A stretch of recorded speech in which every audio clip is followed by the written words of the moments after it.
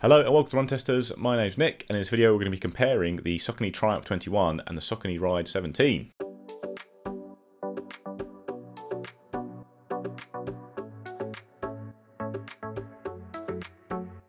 The Ride and the Triumph are both long-running lines within Saucony's range. Like in the past, easy to divide them really as the Triumph as the premium cushion shoe that's got the most comfortable cushioning, the most stack height, that kind of thing. Whereas the Ride was more the daily trainer, almost the Pegasus of Saucony's range, built to do a little bit of it all. But the updates to the Ride 17 have made it very similar to the Triumph 21. So we're going to try and pick out what the differences are and which we'd recommend from the two. One of the big differences is the price. The Ride 17 is a lot cheaper at £135 or $140, whereas the Triumph is £170 or $160.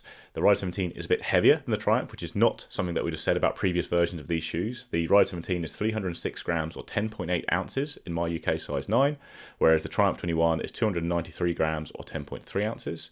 The Ride 17 is an 8mm drop, whereas the Triumph is a 10mm drop, with the stack heights being 37 at the heel in the Triumph and 27 at the forefoot, and then it's 35 and 27 in the Ride. So there's lots of similarities between these two shoes, as I mentioned, and the reason for that is that Saucony added the Power Run Plus midsole and sock liner to the Ride 17, replacing the Power Run foam that had been using it in the past. You've obviously got Power Run Plus in the Triumph, so the midsoles are now very similar all round. You've got that slightly higher heel stack height in the Triumph and slightly lower drop in the Ride, and then also actually the Ride is a bit wider, certainly around the midfoot, than the Triumph 21, which maybe adds a little bit more stability, although the Triumph itself is also pretty stable for a neutral shoe. You've got mesh uppers on both shoes, that you've got a closer fit and more padding around the heel of the Triumph is something I noticed, and then actually the laces are a little bit different. You've got almost these fabric eyelets on the uh, Ride 17. You can see I've actually managed to rip one of those off with you've got the more traditional lacing system on the Triumph. Then you've got rubber outsoles on both shoes, slightly more coverage around the midfoot there on the Triumph, and slightly different designs to the groove at the heel of each shoe. It's a bit deeper and shorter on the Triumph, but broadly speaking, quite similar outsoles on both shoes. So the fit for me in these two shoes is quite similar, as you'd imagine. They're both Saucony shoes. They're both quite similar in the way that they're designed. I'm a size 8 in the UK. These are both size 8s in the UK. I found to be very comfortable shoes. There's plenty of room before the toe in the forefoot in both of the shoes. The upper is quite plush in both of these, significantly more in the Triumph 21 than the um, Ride 17, but it's quite a similar upper. So there's plenty of room in the forefoot to move your feet around. It's quite a forgiving upper as well, so it's quite loose fitting, but it's also good for a nice lockdown fit. So very comfortable. Uh, I will stick to my size in both of these shoes. So a quick word on fit then. I ran in an UK 8.5, which is my regular running shoe size in both of these shoes. I found the fit absolutely bang on on both of them. Really good lockdown across the midfoot, no slipping in the heels, they hold really nice. There's good amount of wiggle room in the toe box. If anything, the Ride 17 there's probably a little bit more clearance of the uppers across the top of the toes that makes them feel a bit more airy and roomy. And, you know, there's a bit more room to wiggle, which I really quite like. The uh, Triumph 21 feels a bit more dialed in, which is probably better if you're thinking about that, might be used for sort of faster pace runs anyway. But overall, I would recommend going true to size in both of these shoes. So I have my normal running shoe size in both of these shoes. It's a UK 9 I've used across the Saucony's range for many years and both of them fit me really well. Good amount of room in the toe box, nice hold around the heel and midfoot. Got a slightly closer, more noticeable fit at the heel in the Triumph 21, but neither shoe I found has irritated my heel or anything like that. You've got the more traditional lacing system on the Triumph. These fabric eyelets on the ride I think are slightly flimsy as I've ripped one and I never rip those things. I don't yank my laces that hard, so that is one little thing I'd watch out for with the fit. Don't crank those laces on the on the ride too hard. So I am a massive fan of the Triumph uh, 20 and the 21. It's a fantastic, cushioned daily shoe. The midsole foam, this Run uh, Plus, is just a lovely, enjoyable, slightly bouncy midsole foam. It's really nice for easy runs, for recovery runs, for long runs. It's basically like the perfect daily shoe if comfort and cushioning is your main focus. Whereas some of the shoes like the Speed 3 is a great daily shoe, but it skews more towards the faster side of running. Uh, this is really the other side. So comfort, cushioning, but also has a little bit more versatility in it. That midsole foam means that you can do lovely cruising miles. I've used this shoe for quite a lot of uh, my longer runs. So if I'm out there doing like a tempo run or just doing a 16 miler, I would use the Triumph 21 just because it's comfortable and just delivers everything that you would want. So I think the Triumph 21 is just a brilliant shoe, uh, and it's definitely one of, if not the best cushion shoes out there at the moment. The Ride 17 is an interesting one because the previous rides, the 15 and the 16, were fine. They just didn't really do a lot. The midsole foam in those shoes was pretty dull. Uh, the shoe itself was relatively versatile. It was a daily shoe that probably skewed a little bit more towards uh, doing shorter, maybe slightly faster efforts, but it didn't really do a lot. The midsole foam was pretty um, boring.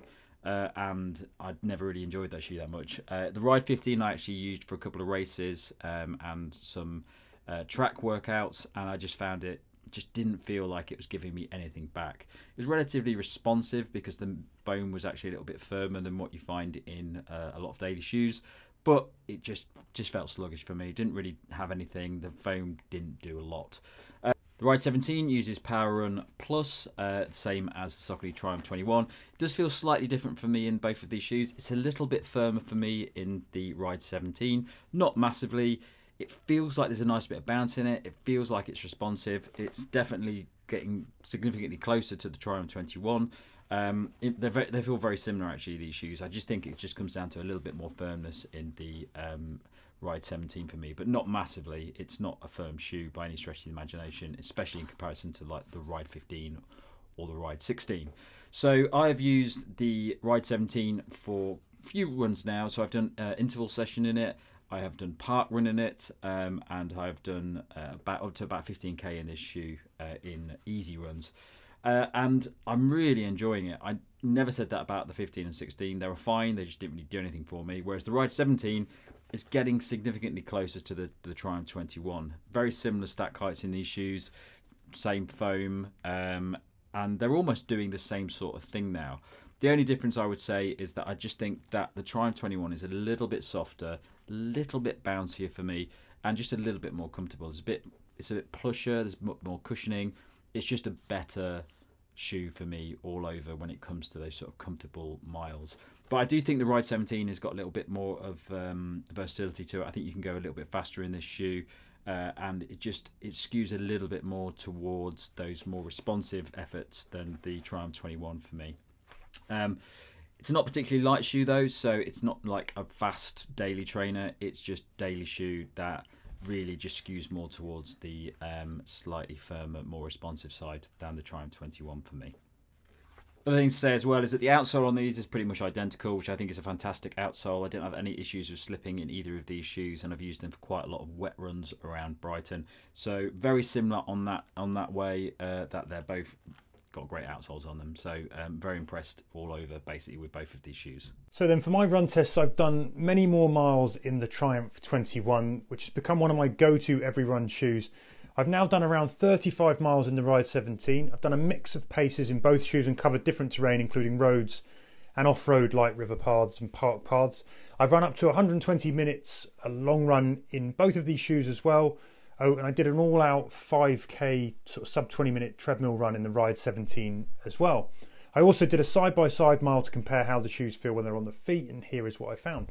So I've just done my side by side mile. I've got the Ride 17 on the left foot, I have got the Triumph 21 on the right foot. Initially, I thought these shoes would ride fairly similar. That was going to be my gut reaction anyway. But having put them both on now, there are some differences here that are really important. One is that with the Ride 17, you're getting a wider base in the heel and in the forefoot on the landings. At least that's how it feels. Pretty sure if you measure them up, you're going to get more across the base of the foot, a bigger platform to land on. That platform is also lower stack and you do notice it, but it's also softer. That's the key thing here. It sinks much, much more than the Triumph 21. It's a noticeable difference when you've got them side by side like this. You might not pick it up quite so much when you're running you know, in just one of the pairs of shoes. And I think both of these can cover similar runs. What you're going to get here, though, I think overall, is that the ride offers you a little bit more cushion protection and softness, whereas the Triumph 21 will feel a little bit more energetic, a bit more racy, if you like. That Power Run Plus stack of foam that's got more in the heel, same in the forefoot. I think it just comes back a little bit more immediately. So it stiffens up a bit quicker than the Ride 17s, which just cushions your landing a little bit more. That means you have to work ever so slightly harder to get back out I think. And so in terms of overall responsiveness, I think the Triumph 21 are going to win here. And they are going to be the shoe that overall for faster pace runs are going to do better than the Ride 17. What I will say though, is that in terms of comfort on the foot, I think they're both on par here. I think secretly I was hoping that the Ride 17 were going to be an easy replacement for the 21 to tell you all that you can save yourselves a bit of cash. But those differences, they, they are noticeable. They will make a difference to the ride overall. I think there's a little bit more punch in the Triumph 21, but that immediacy makes them a little bit better at the faster paces. I think to a certain extent you do notice the extra weight on the shoe, or at least the Ride 17 just feels like a bigger overall shoe on the foot, whereas the Triumph, they just give you a little bit of extra kind of agility, precision. They're just a touch more nimble. It's not a huge difference here, and I'm pretty sure you can do all the same runs in both of these shoes. It's just probably that the Ride 17 are going to be better equipped for the sort of slower stuff up to your marathon pace, whereas the Triumph 21 are going to be hand, able to handle the slower stuff, but are probably going to be better if you really want to go out and kick up the pace to marathon pace and beyond. So I've done a mix of training in both shoes, like long runs, easy runs, some slightly faster stuff. I tend to think of both of these shoes as cushion shoes for easy runs mainly. A little bit of versatility there. Like in my rotation, they'd certainly be the cushion shoe. I think if you were maybe a newer runner, you could use these as really good all-rounders potentially. But for me, they're very much shoes that I prefer mainly for easy running. The foam is really good and it's the same in both shoes. That Power Run Plus foam is is a really well balanced foam. It's not really soft and squishy, but it is comfortable. It gives you a little bit back. It creates a stable ride and an enjoyable ride for ticking off runs, and it feels the same for out runs. At the end of a long run, you're still getting that same resiliency and bounce back. It doesn't really compress or lose any of its. Uh, liveliness over the course of a longer run. Triumph 21 feels slightly better at pace to me. I think it's a slightly lighter, more nimble shoe, but overall, when running in both shoes, I'd say I didn't really notice a huge difference. You've got, slightly more foam at the heel of the Triumph and that slightly higher drop, but as a heel striker, maybe that's why I prefer the shoe slightly. But really, when I was running in them, both of them at the same time, it, I didn't really notice a big difference between them in terms of the ride feel, even with that slightly lower drop on the ride. The width, I'd say, on the ride is a bit more noticeable. Like, you can notice that you get a bit more ground contact with the ride, and maybe that's why it feels just a little bit bottom heavy to me at times. And even though the difference in weight really isn't very much between these two shoes, I think the Ride 17 does feel like a noticeably bigger and heavier shoe, even if the difference is very small. It does feel that a little bit bigger and less versatile to me than the Triumph, but I'd use them both for the same kind of runs. It doesn't really amount to much in practice, I'd say. Okay, so my verdict on the Saucony Triumph 21 and the Ride 17 is I would previous versions I would never have compared these two shoes just because the ride just didn't do anything that the Triumph 21 was doing. Now, now it's got the same midsole foam in, now it's got the same sort of stack height in it it's a very difficult pair of shoes to, to, to look at because they're essentially on paper very, very similar. What I would say is the difference is in the comfort and cushioning of the Triumph 21. So it just feels a little bit softer for me. There's a little bit more bounce in it for me. That, that it's a plusher shoe. It's a more comfortable shoe. You just get a lot more from it if your focus is that cushioning and comfort. The Ride 17 is getting very close to the Triumph 21 now. Uh, it's just for me little bit lower in terms of comfort. So you're probably going to be able to do all the same things that you can do in the Triumph 21. It's just not quite as good for me when it comes to that sort of cushioning and comfort. But it's still a fantastic shoe, and for the price, it I'd probably say I'm going to go for the Ride 17. But overall, I think the Saucony Triumph 21 is the better shoe but you've got to weigh up the, the, the cost of the shoe uh, when you're comparing these two things. But it's getting very close now. It's, it's a fantastic update to the Ride 17. Really think it's a great shoe now, and I'm actually picking it up quite a bit for daily runs, whereas the previous rides, I've, I did not really want to pick those shoes up just because they just didn't deliver anything for me. But I love the midsole in this. Um, but overall, Triumph 21 is still one of my favourite shoes out there at the moment. I think it's absolutely fantastic. My verdict then, well, these are two very good shoes that offer similarly pleasing levels of comfort and a good natural disappearing feel on the foot. Which shoe you choose, though, is going to boil down to whether or not you want a daily trainer that's tuned to slightly faster or one that's tuned to be slightly more protective. Both shoes have the versatility to handle pretty much all of your daily miles, from the slow and easy up to the up tempo speeds, up to marathon pace, and even beyond in some cases. But the Triumph 21, for me anyway, I think cope better from the middle to the top end, whereas the Ride 17 probably cope better from the middle to the lower end. However, you can run fast in the Ride 17, and you can run slow in the Triumph 21. They're both still good for those things at either end, just not quite as good at it as each other. The Ride 17 offers a bigger, softer, more stable platform. The Triumph 21 is a bit more responsive, immediate, punchy, it's a bit more agile and precise. So which would I recommend? Well, if you're on a budget, I'd say go for the Ride 17. If you own the Triumph 21, you don't need the Ride 17, I don't think. If you prioritise snappiness and speed, the Triumph 21 probably edges it. If you want more protection and stability, go for the Ride 17. Which shoe would I choose? Well, I'm quite torn to be honest. I think the Ride 17 offers much better value. It's a wonderfully versatile shoe at a really competitive price in that daily trainer bracket. I've also got shoes in my rotation that will cover the faster, shorter miles that the Triumph 21 might do best at. So if you have that, I think that's one consideration. So I'm drawn to the Ride 17. On the flip, I think the Triumph 21 is probably the better shoe for my overall style, a bit firm, a bit more responsive. And I can run in slightly less protective shoes, so I can get away with them how they run when they're slower. But money always comes into it, and I think on balance, the Ride 17 edges it because of the value it offers. I also think it will better suit a wider range of runners, so I'm going to be recommending the Ride 17. The Ride 17 is clearly coming in to take the Triumph spot in Saucony's lineup, and it's good that it's doing so at a lower price. You've now got a really good cushioned cruiser of a shoe from Saucony that's cheaper than the Triumph. We'll see what happens to the Triumph line next year, but if I was just picking between these two shoes right now, I'd get the Ride 17 as it is cheaper than the Triumph and you know very similar in nearly all the main respects. So if you found them at the same price, I would pick up the Triumph. I think I do slightly prefer the feeling of it, but it, it is a really slight thing, and maybe that's just down to having the Triumph more and I've used it for slightly more running over the course of the year. I've worn to it slightly more, but really they do the same job well, which is to be a cushioned cruiser. That for me would be something I'd use mainly for easy and long runs, but they do both have the capability to to be used as an all rounder. And as I mentioned, if I was a newer runner, these would be among the top shoes I'd be considering as an all rounder to use. Like when I first started out running, I used the Triumph line a lot, and I do think they are cushion shoes that are more versatile than a lot of cushion shoes out there. But overall, picking between them, I'd get the Ride 17 because it's cheaper. At the same price, I'd probably just lean towards the Triumph as I slightly prefer the Ride feel, but really isn't much in it at all. It'll be very interesting to see what happens with the Triumph 22 next year if Saucony pops in some Power Run PB foam to differentiate it again from the Ride 17. But for now, yeah, very similar shoes.